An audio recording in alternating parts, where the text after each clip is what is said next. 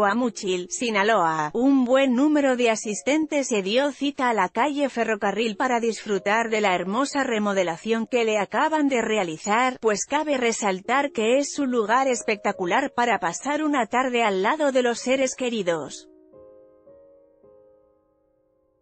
Algunos niños ayudaron a realizar un dibujo en una de las paredes. Fotografía, Ramón López El debate Las personas tanto de la ciudad de Guamúchil como visitantes comenzaron a llegar a partir de las 6 horas y no dudaron en posar para la foto del recuerdo.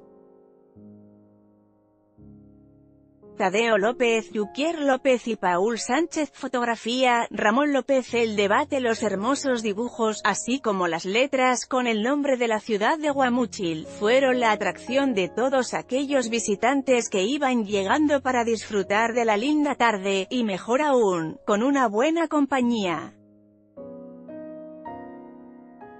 Dulce Paola Godoy disfrutó de los bellos dibujos, fotografía, Ramón López El debate Livier y Melina Bojorquez y Roger Sauceda, fotografía, Ramón López El debate en esta nota, Guamuchil tarde calle Ferrocarril.